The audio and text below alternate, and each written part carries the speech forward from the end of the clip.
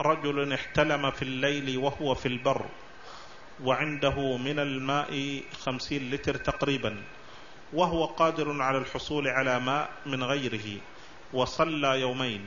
فلما ذهب إلى أهله اغتسل هل عليه شيء؟ وهل الأعمال التي بعد أو قبل الغسل صحيحة؟ إذا كان الماء قريبا منه وتيمم هذا غير صحيح. إذا كان قريبا منه الماء فإنه يجب عليه أن يذهب إليه. ولهذا يقول الفقهاء يجب عليه طلب الماء في رحله وقربه وبدلاله. إذا كان قريبا منه الماء فلا يجوز له التيمم لأنه واجد للماء. الله جل وعلا يقول فلم تجدوا ماء؟ وهذا واجد للماء قريب منه. أما إذا كان الماء بعيدا عنه فهذا له أن يتيمم وصلاته صحيحة. لأنه غير واجد للماء وهو بعيد عنه. نعم.